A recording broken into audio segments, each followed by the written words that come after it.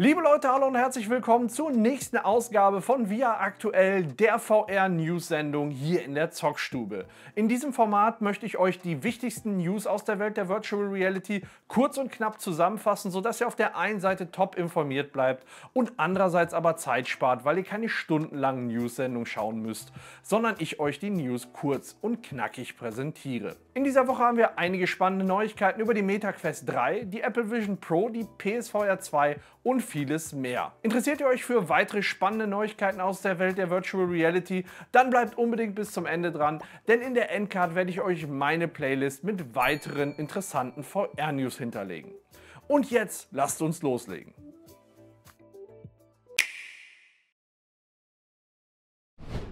Spieleabo für die Meta Quest.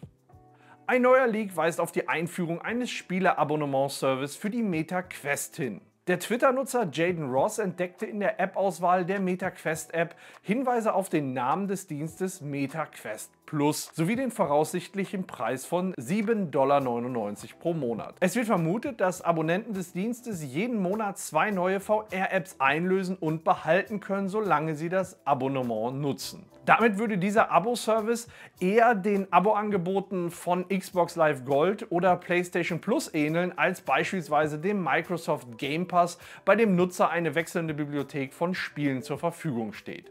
Die Attraktivität des Dienstes wird wahrscheinlich stark von den monatlich angebotenen VR-Spielen abhängen. Während Xbox Live Gold und PlayStation Plus mit Ausnahmen für das Online-Spiel benötigt werden, gibt es im Quest-Ökosystem derzeit nichts Vergleichbares und das Online-Spielen ist kostenlos. Es ist nicht klar, wann und in welcher Form Quest Plus eingeführt wird, da Meta bisher keine offiziellen Angaben gemacht hat. Es ist auch bekannt, dass Meta einen VR-Streaming-Dienst mit dem Codenamen Avalanche testet, der es Nutzern ermöglichen könnte, hochwertige PC-VR-Spiele über das Internet auf die Meta Quest zu streamen. Phasmophobia für die PSVR 2 Phasmophobia erscheint auf der Xbox, PS5 und der PSVR 2. Phasmophobia ist ein kooperatives Online-Horrorspiel für bis zu vier Spieler, das von Kinetic Games entwickelt wurde. Im Spiel schlüpfen die Spieler in die Rolle von paranormalen Ermittlern, die in verschiedene Spukhäuser gehen, um Hinweise auf übernatürliche Aktivitäten zu sammeln. Dabei nutzen sie verschiedene Arten von Ausrüstung, von Geisterboxen über UV-Lichter bis hin zu Kameras, um Hinweise zu sammeln und zu bestimmen, welche Art von Geist sie heimsucht. Das Spiel zeichnet sich durch seinen Immersionsgrad und sein intensives Gruselerlebnis aus, das durch ausgeklügelte Soundeffekte und visuelle Anreize verstärkt wird.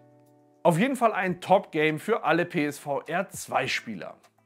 Dann gibt es News zu Assassin's Creed Nexus. Drei Jahre nach der ersten Ankündigung von Assassin's Creed Nexus VR hat Ubisoft endlich einen ersten Trailer des VR-Spiels für die Meta Quest veröffentlicht. Hierbei handelt es sich allerdings erstmal um einen Render-Trailer. Bei dem Ubisoft Forward Event wurden drei spielbare Charaktere vorgestellt. Ezio Auditore da Firenze im Italien der Renaissance, Cassandra im antiken Griechenland und Connor Kenway im kolonialen Boston.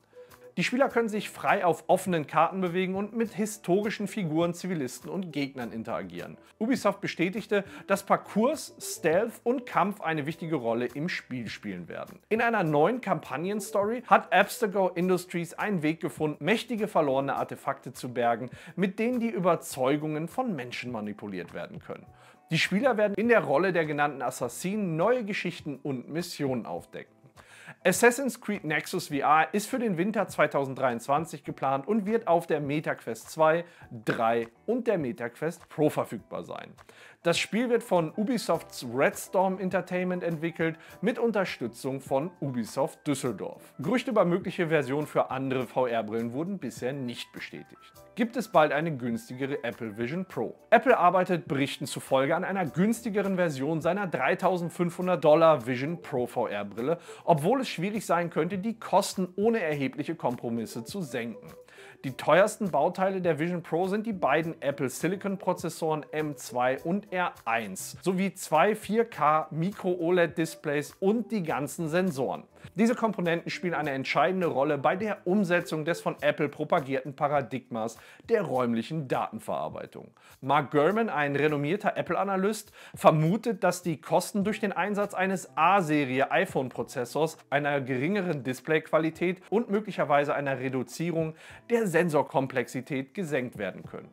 Änderungen am Kopfband, Lautsprechern und Linsenjustierung könnten ebenfalls helfen, die Kosten zu senken. Apples Betriebssystem Vision OS ist jedoch um das aktuelle Sensordesign herum aufgebaut, sodass Änderungen in diesem Bereich möglicherweise überhaupt nicht möglich sind. Darüber hinaus ist es unwahrscheinlich, dass Apple die Augen- und Handtracking-Bedienungselemente überarbeitet, die ein integraler Bestandteil von Vision OS sind. Sollten alle geplanten Änderungen realisiert werden, prognostiziert Gurman, dass die nächste VR-Brille von Apple Ende 2025 erscheinen könnte. Und jetzt kommen wir zu den News zur MetaQuest 3. Die MetaQuest 3, die im Herbst 2023 erscheinen soll, verfügt über ein neuen, mehr als doppelt so leistungsfähiges Chipset wie der Snapdragon XR2 der MetaQuest 2. Das wird unter anderem ermöglicht durch ein neues Kühlsystem, das zusätzliche Leistung freisetzt. Anders als beim Vorgängermodell der MetaQuest 2, die unterhalb ihrer Kapazität lief, um Überhitzung zu vermeiden, wird das neue Kühlsystem die CPU-Leistung in einigen Fällen um bis zu 45% steigern. Die MetaQuest 3 erhält zudem einen neuen Chipsatz, der das zweieinhalbfache der Leistung des Snapdragons XR2 von der MetaQuest 2 erbringt. Mehr Details zur neuen MetaQuest MetaQuest 3 und ihrer Kühlung werden wir zur MetaConnect 2023 im September erfahren. Ein Livestream ist dazu sogar schon hier in der Zockstube eingerichtet, also macht euch direkt eine Erinnerung, damit ihr nichts verpasst. Laut Grant Baggy G. Bagwell, Entwickler von äh, Team Beef, wird dies höhere Leistungen in allen Bereichen ermöglichen, darunter höhere Auflösung, dynamisches Licht und Schatten und andere grafische Verbesserungen für VR-Spiele wie Doom, Quake oder Half-Life. Die erhöhte Leistung könnte sogar bisher unerreichbare Titel ermöglichen. Team Beef arbeitet derzeit an VR-Versionen von Wrath, Aeon of Ruin, Morrowind und Quake 4, bei denen die zusätzliche Performance der Quest 3 von Nutzen sein wird. Außerdem zeigt ein durchgesickertes Video ein neues Feature der Quest 3, das sogenannte Smart Guardian System in Aktion. Im Video wird dargestellt, wie das Headset mit seinem Tiefensensor physische Objekte und die Umgebung erfasst und kartografiert. Wenn der Nutzer sich physischen Objekten nähert, leuchtet die kartografierte Umgebung als Warnung auf. Im Vergleich zur manuellen Definition von Spielgrenzen und Objekten in der MetaQuest 2 könnte das Smart Guardian System diesen Prozess automatisieren und zusätzlich noch verfeinern. Dies würde Virtual Reality einfacher und sicherer zu nutzen machen und Mixed Reality zugänglicher und immersiver. Es bleibt abzuwarten, ob das Smart Guardian System tatsächlich so funktioniert, wie es in den Videos dargestellt wird. Meta hat bisher keine offiziellen Angaben zu diesem Feature veröffentlicht. Welches Headset kaufen im Jahr 2023? Viele Nutzer stellen sich im Jahr 2023, gerade jetzt, wo die Quest 3 angekündigt wurde, die Frage, welches Headset soll ich mir denn kaufen? Soll ich auf die Quest 3 warten? Soll ich mir eine Quest 2 kaufen? Oder ist vielleicht sogar eine Pico 4 die bessere Alternative? Hierzu habe ich euch am letzten Samstag schon ein Video veröffentlicht, wo ich die Quest 2 mit der Quest 3 und der Quest Pro vergleiche. Dieses Video findet ihr gleich in der Endkarte. Deswegen möchte ich euch jetzt darauf darauf hinweisen, dass am kommenden Samstag ein Video erscheinen wird, was sich mit der Situation beschäftigt. Ihr wollt jetzt unbedingt ein VR-Headset kaufen und seid zu ungeduldig, um auf die Quest 3 zu warten.